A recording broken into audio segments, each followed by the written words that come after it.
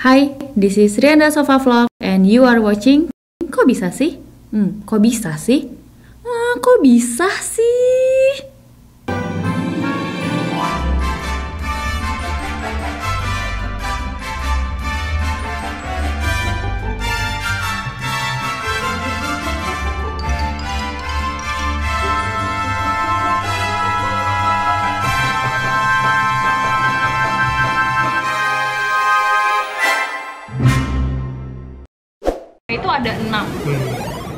Sebenarnya saingannya itu bang? Nah, jadi sekarang kita akan bicara gimana prosesnya. Prosesnya, Ya, benar. Prosesnya.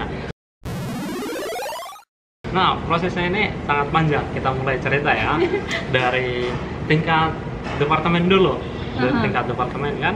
Jadi nanti dari departemen itu akan mengutus misalnya kalau di case aku itu kemarin kita ada empat orang yang melamar ini tapi yang bisa dikirimkan untuk jenjang yang lebih tinggi itu hanya ada dua. Dua, oke. Nah, jadi otomatis harus diseleksi dong. Betul dua, betul. kan? Ini yang untuk dari departemen dulu kan ya bang ya? Iya. Dari departemen itu ada empat orang Hmm. dan em, seleksinya jadi dua. Berarti Iya. ada bang Noto dan temannya bang iya, Noto nih. ada satu lagi. Nah, baru itulah yang berhak lanjut ke, Ke tingkat fakultas. fakultas. Nah, tingkat fakultas.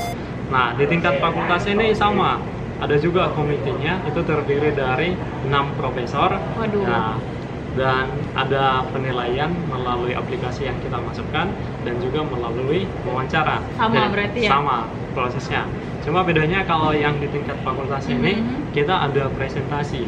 Kita dikasih Oh. waktu presentasi sekitar uh, lima menit lah, lima menit Mhm. mempresentasikan apa prestasi kita. Kenapa kita harus jadi Kenapa gue dipertimbangkan gitu ya, ya? ini ya kira-kira gitu loh. Kenapa aku harus memilih kau sebagai outstanding student? Outstanding Nah, student, ya gitu. benar-benar. Nah, jadi di situ kita presentasi, baru mereka nanya. Nah, dan waktunya juga kan terbatas. Jadi totalnya mungkin sekitar 10 10 menit menit. lah semuanya. Dan mereka ada bertanya dan mereka juga waktu itu ada profesor yang mengapresiasi yang itu yang prestasi saya tadi kan tonjolnya di riset kan Iya, iya, iya. Nah, uh, ini luar biasa lah kira-kira seperti itu gitu lah ya. kalau ada 8 paper yang udah publish walaupun harus digarisbawahi itu adalah bukan hanya Ya. kerjaku sendiri itu adalah kerja, Kerja tim, gitu. ya antara Berarti profesor dan ada dengan temannya teman Abang. satu lagi 5 menit dengan menjawab pertanyaan berarti di situ harus benar-benar jawabannya tuh cepat to the point singkat iya. Ah, to the point Oh. Singkat padat dan jelas nah gitu Itu abang tahu nggak kisi-kisi pertanyaannya enggak kemarin? enggak kita tahu? ya apa Dan- pertanyaannya ya harus ready gitu Oh oke oke oke. Paham. Itu berapa orang sa- saingannya? Nah, kalau yang di tingkat fakultas itu kan ada standarnya. Di situ kemarin kami ada sekitar 13 orang. 13 yang ikut. orang, oke. Nah, tapi yang berhasil Lolos. menjadi outstanding student di tingkat fakultas, Fakultas ini itu? hanya ada enam orang. Berarti setengahnya gugur ya, ya setengahnya gugur. Nah, tereliminasi. Nah, yang lolos di tingkat fakultas ini itulah Hmm. nanti lanjut ke universitas. nah, tingkat universitas. Berarti di antara enam orang yang ada di fakultas, Bang Noto salah satunya. Iya, betul. Oke, lanjut nih kita ke universitas. Iya, baru lanjut ke tingkat universitas. Kalau tadi di tingkat uh, fakultas itu kan rasionya satu banding Banding 500. 500. Nah, kalau di tingkat universitas ini lebih tinggi lagi, Mhm, satu mhm. banding 1000. Wow. Nah, jadi kita yang ikut seleksi di tingkat universitas ini ada sekitar 23 orang.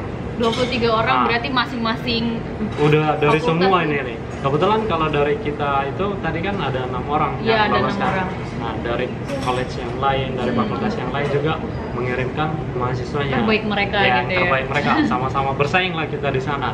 Dan di sini lebih parah lagi, ada 15 profesor yang menilai uh, aplikasi kita. Kita. Tapi Wow. kalau waktu wawancaranya hanya ada 6 ke 7 profesor karena waktu itu dibagi dua tim profesor yang untuk lebih ke Ah. waktu kan.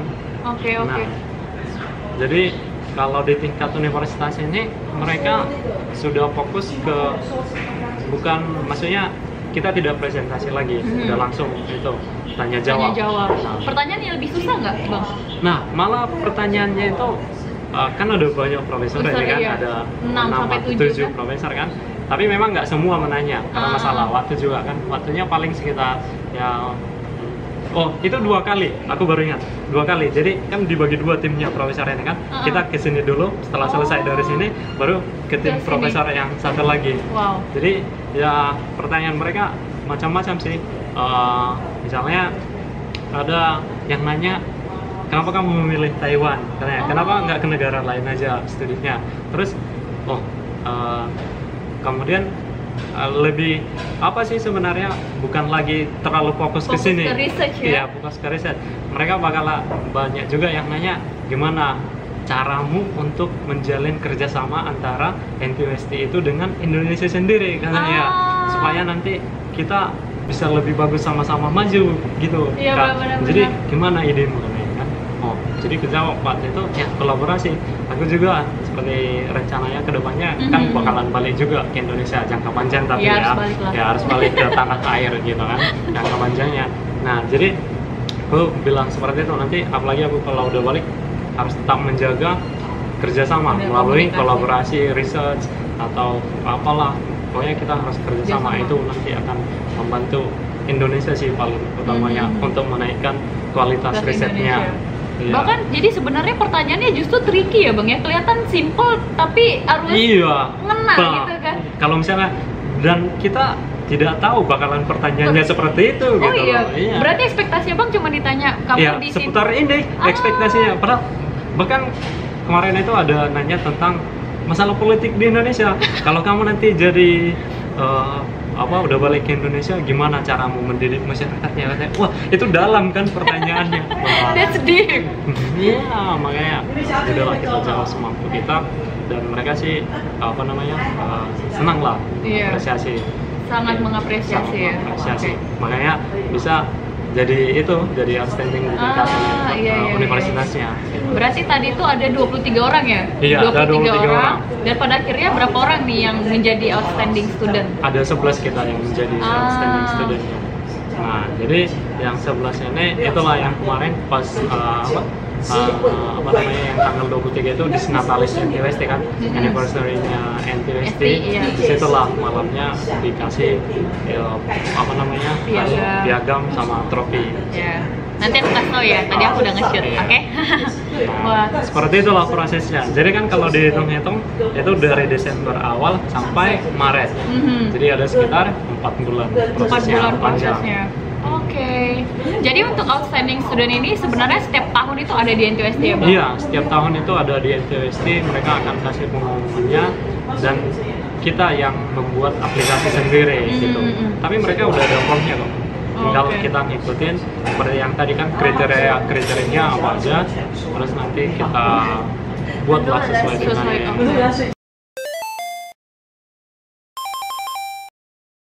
Semoga someday ya kita bisa jadi outstanding. At least kalaupun kita tidak bisa outstanding student di di skala sebesar uh, universitas, at least jadi diri sendiri, outstanding diri sendiri gitu Iya. kan ya, Bang. Hmm, Jangan betul. membandingkan diri kita dengan orang lain, tapi bandingkan diri kita yang sekarang dengan yang kemarin. Iya, jadi itu lebih uh, lebih fair. Artinya kalau kemarin aku gini, hari ini aku seperti ini, hari esok aku harus seperti ini.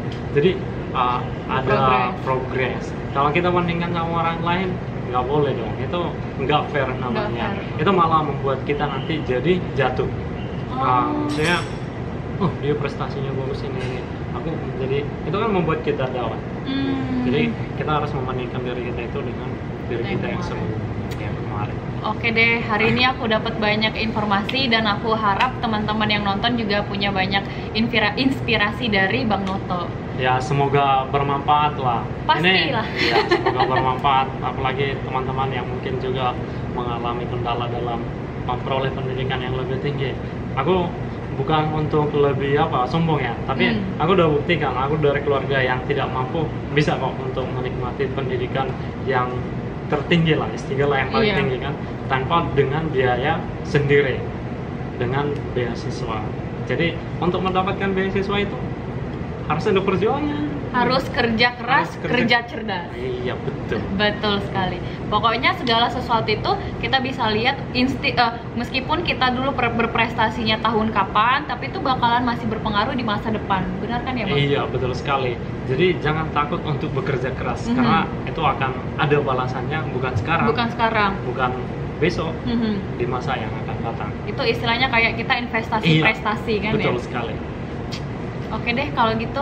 Terima kasih banyak Bang Noto Ya, untuk terima waktunya. kasih Sofa sudah diundang. Ya, maaf kemarin ya. Ya.